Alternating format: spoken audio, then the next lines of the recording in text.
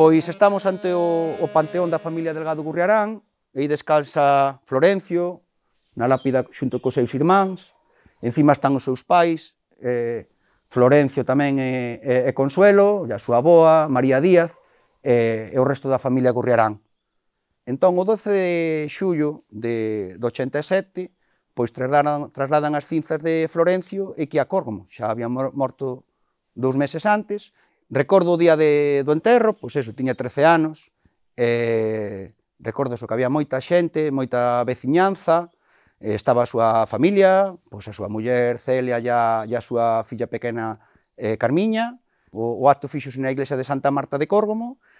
foi moi emotivo, el pudo se despedir aí de, da, da santa que tanto tanto escribiu na, na súa poesía, Santa Marta de, de Córgomo, e despois de despedirse, pois nada, fixeron o que era peregrinación desde ali hasta o cementerio. entonces eu daquela era moi cativo, tiña 13 anos, pero me acordo, me eu ia portando un dos faroles, outros primos meus levaban a cruz, e amigos, e desde ali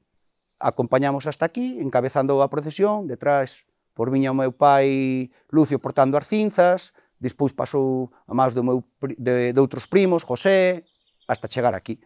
Foi moi emotivo porque foi un pouco o recorrido uh, por Córgomo, por todos esos nomes que aparecen na, na, na súa poesía, da microtoponimia daqui de, de Córgomo, saliu do barrio de Santa Marta, pasou diante da súa casa de nacemento, unha casa antigua fidalga,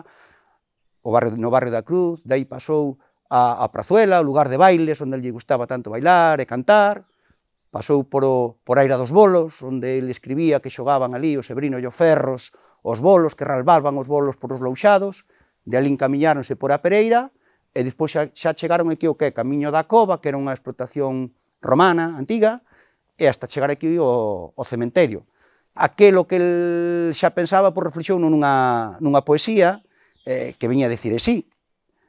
Marmaña, marmaña, augura nos peitos, camiño da cova, vai o cadaleito. Saudosa teoría entre os castañeiros. É un lugar de castañeiros, o camiño da cova, ela así o, o reflexou.